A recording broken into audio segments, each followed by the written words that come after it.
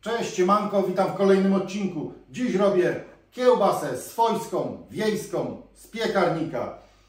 Jak wiadomo, na takie kiełbasy swojskie jest mnóstwo przepisów, każdy ma jakiś swój ulubiony, więc ja Wam pokażę swój ulubiony. Ale yy, do tematu mięsa za chwilę przejdę. Teraz przygotuję sobie zaprawę. Zaprawę do kiełbasy, czyli do, yy, do garnka wlewam wodę, wsypuję gorczycę,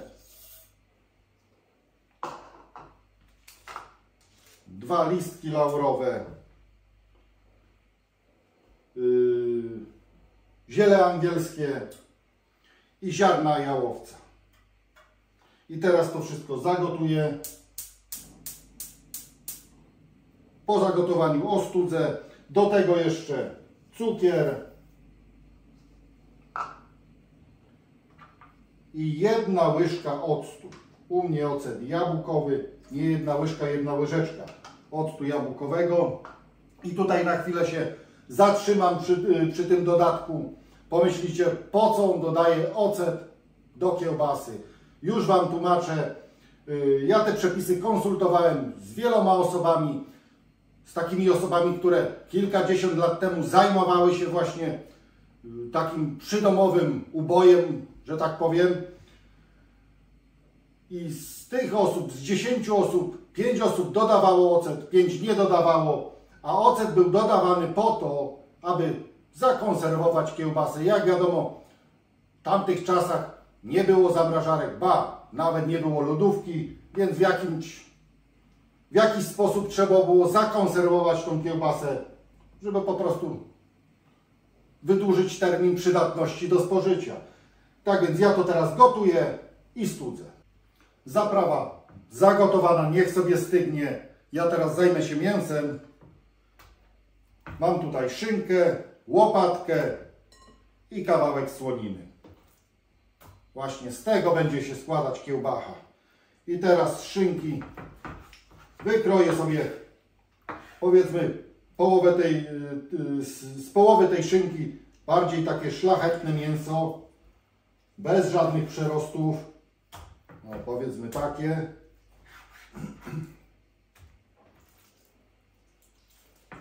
I to mięso będę kroił w kostkę.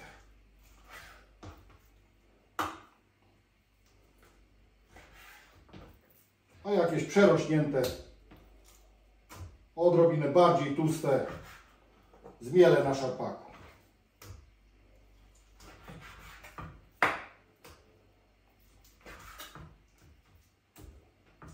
I to mięcho krojone jest w kostkę. To leci na szarpak. A jeśli chodzi o krojenie tej szynki, staram się kroić kawałki nie większe jak centymetr. Taka drobniutka kosteczka.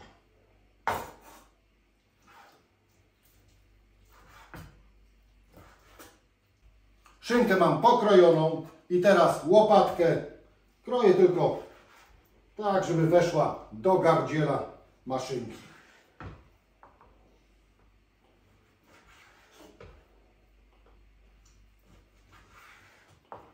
Ok. I została słonina.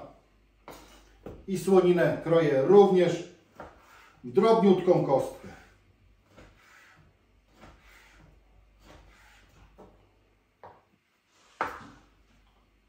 Również nie większą jak centymetr.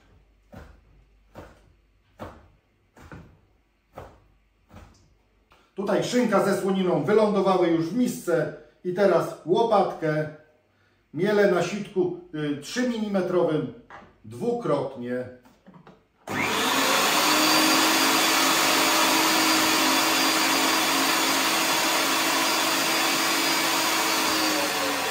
Łopatkę mam zmieloną i teraz została szynka. Miałem ją mielić na szarpaku, ale w ostatniej chwili zdecydowałem, że zmielę na sitku 8 mm.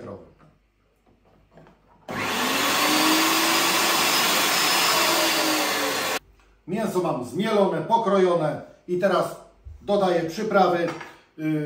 Jeśli chodzi o przyprawy, pod filmem będziecie mieć ilości przypraw do, na 1 kg mięsa, tak tutaj, dodawane tutaj jak i na, na zaprawę na 1 kg mięsa. Ja tutaj przeciskam czosnek, dosypuję pieprz, majeranek i sól. Yy, Ja dodaję sól peklową i sól wędzoną.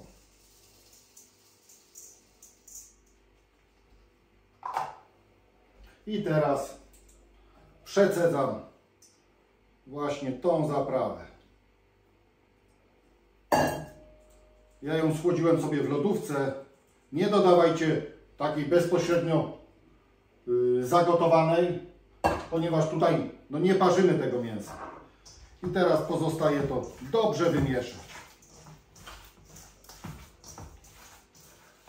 No wyrabianie zajmie około 10 minut.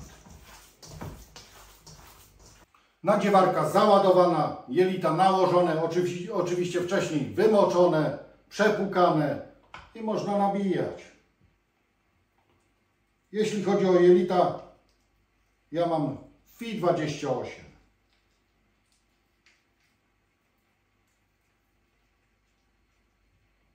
Jelita mam ponabijane i teraz zróbmy długości kiełbas takie, jakie nam od- odpowiadają.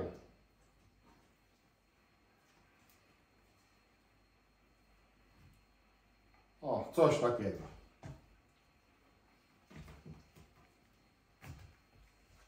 I teraz kiełbachę układam na blachę wyłożoną papierem. Jeśli chcecie, możecie ułożyć na kratce lub podwiesić na kratce w piekarniku. Ja tutaj nie kombinuję, tylko wykładam na blachę. Jeśli chodzi o pieczenie, yy, będę piekł ją w temperaturze 90 stopni przez około 2-2,5 godziny. Ale wiecie, tutaj najlepiej sprawdzić sobie termometrem, wbijając termometr w środek tej kiełbasy. Ma ona mieć temperaturę 70, yy, 69-70 stopni. No tutaj, no chwilę nam to zajmie. Tak jak powiedziałem, 2-2,5 godzinki. Kiełbasę mam upieczoną i teraz pokażę Wam, jak to cudeńko wygląda w środku.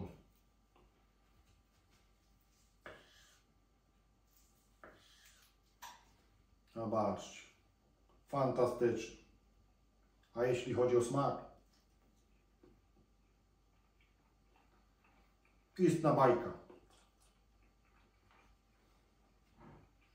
Fantastyczna kiełbasa.